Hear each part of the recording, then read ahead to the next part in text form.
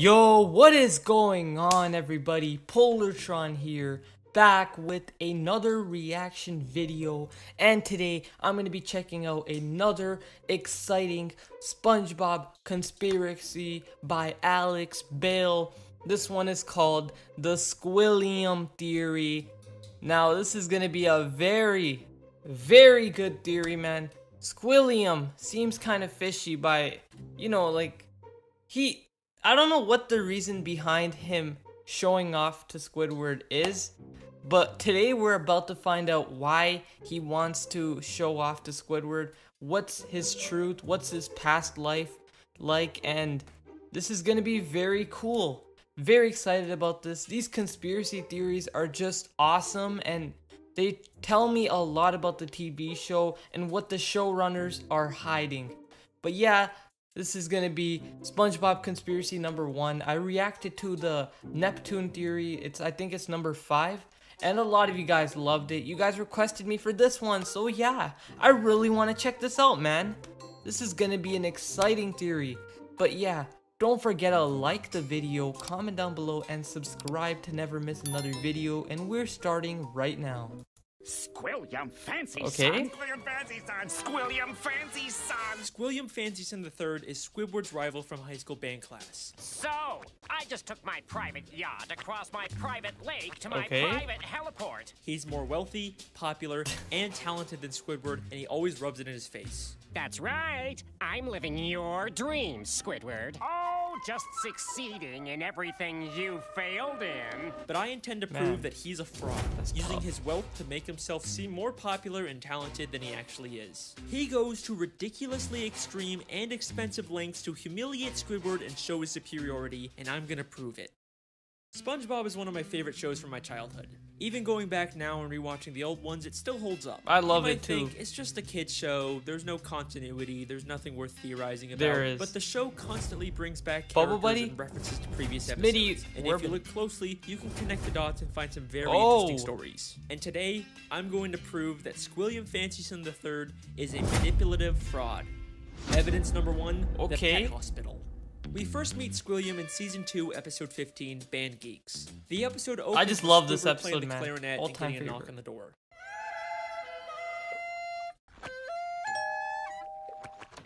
Yeah, uh, we're with the pet hospital down the street, and I understand you have a dying animal on the premises.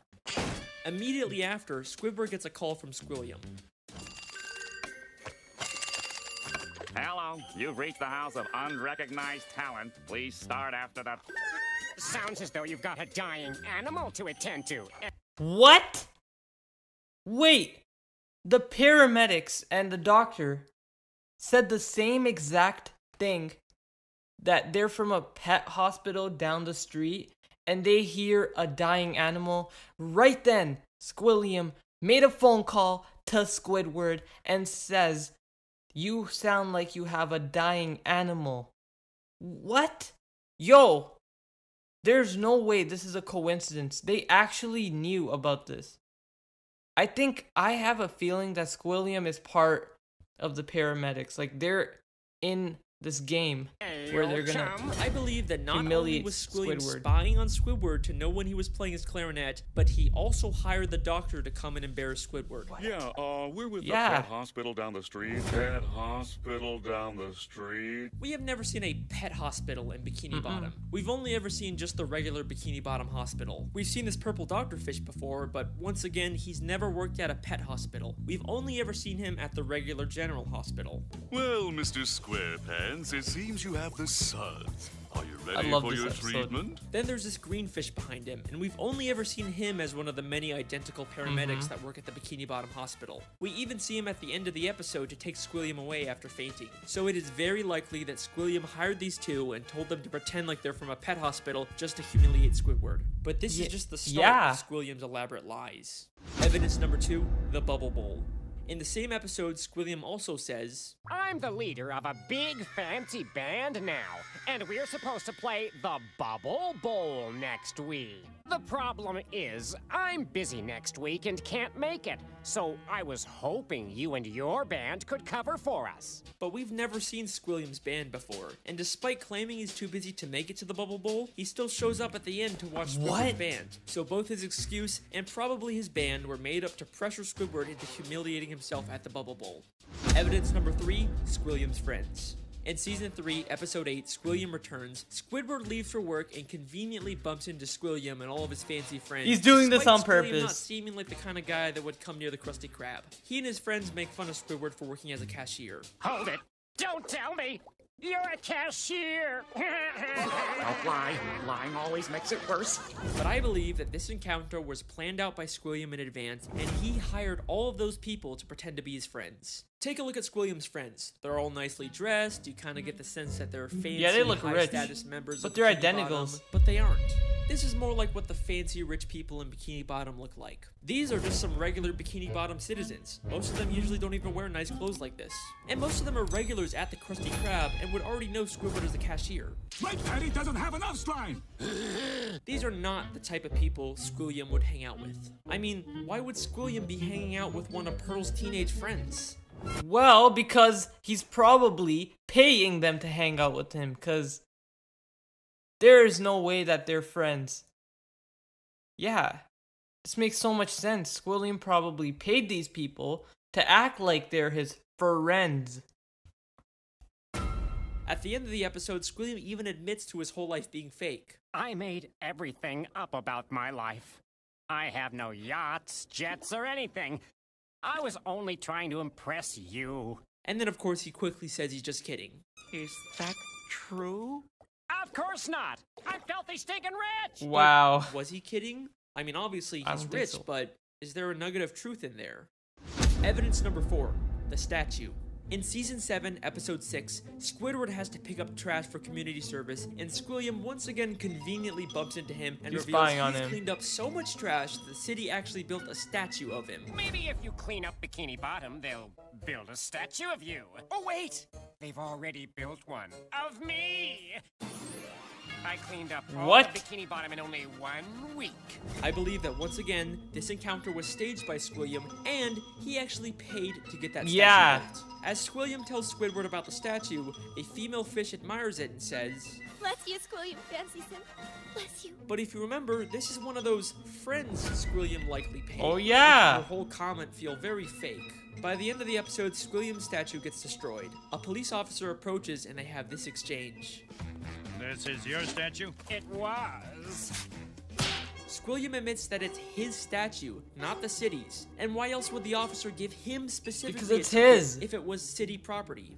Evidence number 5, the concert. In season 6, episode 17, Squidward watches Squilliam play the clarinet at a big fancy concert. He receives a standing ovation, causing Squidward to leave angrily. But I believe this entire concert is a scam. Not only has the audience been paid to cheer, but Squilliam never even touches his instrument. What? Once again, many of the audience members were part of Squilliam's Yeah. quote unquote friends, but we also never actually see Squilliam play the clarinet. The episode opens right after he's finished his performance with the audience cheering, and one member of the audience says, He's such a great musician. He doesn't even have to touch an instrument to be brilliant. Maybe the real reason Squidward leaves so angrily is because the audience cheered for Squilliam even though he never even touched his Mhm, clarinet. makes sense. Maybe Squilliam is just as bad as Squidward at the clarinet and he's trying to hide it. Squilliam has gone to some pretty extreme lengths just to humiliate Squidward, but nothing, and I mean nothing, compares to what he does next. Evidence number six. The Music College. In the same episode, after Squidward leaves the concert, he's approached by the headmistress of the Bikini Bottom prestigious music college. Okay? Aren't you the esteemed Squilliam Fancyson III, who we all came here to see perform tonight? She mistakes him for Squilliam and offers him a position as a professor. Squidward pretends to be Squilliam and teaches a class, only for the police to burst in and Doesn't arrest he him, that all while he's being filmed on live TV. And I believe that this is Squilliam's most elaborate and most expensive scheme to destroy Squidward both publicly and legally. This encounter where Squidward gets offered a job is already suspiciously convenient, but listen closely to their exchange. I'm Squilliam Fancy Son. But didn't you just say a minute ago? But wh- what about the unibrow? He clearly has a unibrow and Squidward doesn't. Why would she mistake him for Squilliam? That just that doesn't make sense. Cuz they both look very different. Like first of all they wear the different different clothing. Second of all, they he doesn't have the unibrow and you know like if two humans stand close to each other, you're to know the difference. Like this this guy Tom is not Fred. Tom and Fred just look very different. They're not they're humans, yeah. But that does not mean that they look the same. And she's doing the same thing. Just because there's two squids does not mean that they're the same people. Like I'm sure they look slightly different, like the different clothing and the unibrow is something distinct about Squilliam Fancy Son. She should she knows. I think she knows from inside. She's just trying to frame Squidward and she's probably paid by Squilliam to do all of this. Go that your name was Squidward Q Tentacles? It is. No, I mean, uh, no, no, I didn't. Well, that's a relief. I mean, She's what an kind of idiot. moron would go to their worst enemy's music recital? What kind of moron would go to their own enemy's music recital? How does she know that Squidward and Squilliam are enemies? If she knew who Squidward was, then why didn't she recognize him? Why would she mistake him for Squilliam? This feels way too much like she was hired by Squilliam to set a trap for Squidward. And if that's not enough, the headmistress's associate is literally just a guy from the paid audience wearing a disguise. He just threw on some glasses to seem smart. Oh! Squilliam knew that Squidward couldn't resist the opportunity to teach a music class, even if it meant breaking the law. My very own music class. Then we get to The the, Bikini. Bottom prestigious music college, and right off the bat, there's something very fishy about this place. The building itself is very green and grimy. Doesn't look like a very music college. Metal look. Nothing about this says prestigious, except for the big sign on top, which feels like the only new thing about this building. I think there is a very good chance that Squilliam just bought some old warehouse, then stuck a sign and some paint on it to disguise it as a college. I mean, look at these other schools in Bikini Bottom. They all have a very nice structure, and a Exactly. paint job, but this prestigious music college looks like a dumpster. Going into the classroom, not only does it have another one of Squilliam's friends, but if this is such a prestigious college, how did SpongeBob and Patrick get in here? Would you two Yeah, they're not that numbskulls smart. mind telling me what you're doing in music class anyway? Sure. Patrick's New Year's resolution was to learn to play an instrument. They say it was their New Year's resolution to take a music class, but you'd think it'd be harder for them to get into an esteemed music school if they just decided to go to it on a whim. Seems like they're just letting in anyone to sell this ruse. Then, Yeah. both the police, Squilliam and the headmistress, and a live news broadcast show up at the same time to arrest Squidward for impersonating Squilliam. If the extremely coincidental fact that all of these oh. people suddenly showed up at the same time isn't enough for you to believe that Squilliam set it all up, I've got something that's going to blow your mind. Squilliam literally has the police working oh, for him. What? Squidward Q Tentacles, I'm placing you under arrest for impersonating a genius. He's the That doesn't paid sound like He's audience. been paid off. I don't know what does. The lengths that Squilliam goes to humiliate Squidward are insane. He literally builds statues and entire buildings just to make Squidward feel inferior. But why? Why would anyone go so far to embarrass an old high school band classmate? What happened between them? What could have caused this extreme level of dedication? Well, unfortunately, we never really get much information on their past. I've spent hours reading through the SpongeBob Wikipedia and looking at old episodes, and there really just isn't any clues that would explain their weird relationship. I guess we can't solve everything, but either way, that's my theory. Thank you so much for listening. I really hope you guys enjoyed. I'll see you next time.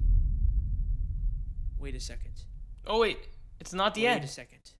Season 6, Episode 5, Slide Whistle Stooges. Just a normal episode where SpongeBob and Patrick annoy Squidward. Nothing really out of the ordinary. Except I have one question about this episode. Why does Squidward have Squilliam's robe? What? That is clearly not the purple robe he usually wears. That is Squilliam That's Fancy Son the exactly Third's his robe. robe. Why would Squidward have this? Unless they were more than just classmates. Could they have once been dating? No way. That's not possible. There, there's no evidence to support that. Right? Don't be intimidated, Squidward. Try to imagine him in his underwear. Oh no, he's hot! What? Yo, this No. sounds so real. I mean, what kind of a moron would go to This their makes worst a enemy's lot of sense. recital? It's been right in front of us this whole time. Our sources last saw Evil harassing teenagers up at Makeout Reef. Ah, make out rage. Good time. Good time. Voted most likely to. That's Squidward. Eggs in high school. Holy shit! Yeah, but that is SpongeBob conspiracy number one, the Squilliam theory. I think this was just an amazing theory. And you know, it it was very shocking.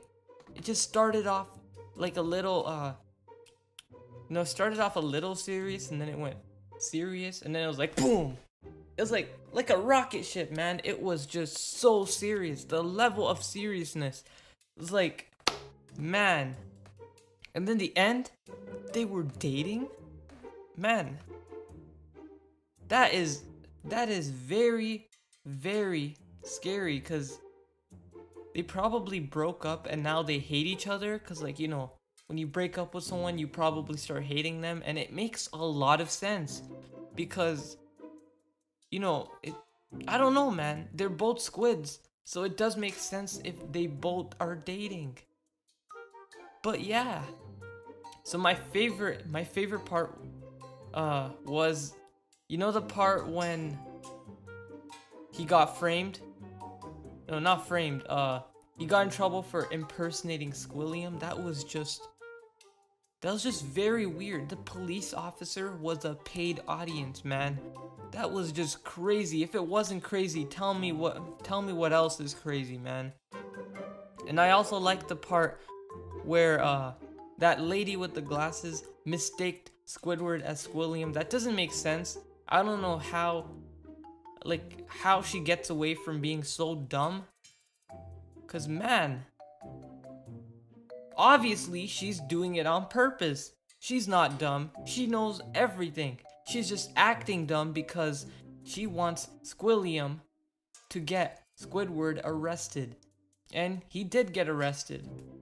And yeah, this is the Squilliam theory. One of the greatest theories, man. Gets a big thumbs up from me. And if I had to rate this out of 10, I'd probably give it a 9 out of 10. Very good video. I just loved it a lot. But yeah, this is the theory. Let me know what you guys think. Don't forget to like the video, comment down below, and subscribe. And I'll see you guys next time. Peace.